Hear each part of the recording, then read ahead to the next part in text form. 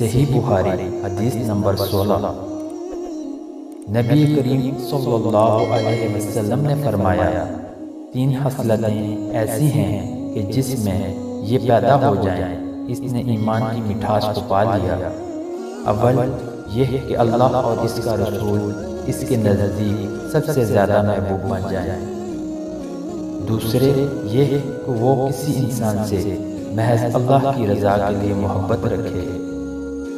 तीसरे ये कि वो कुफर में वापस लौटने को ऐसा बुरा जाने, जैसा कि आग में डाले जाने को बुरा जानता है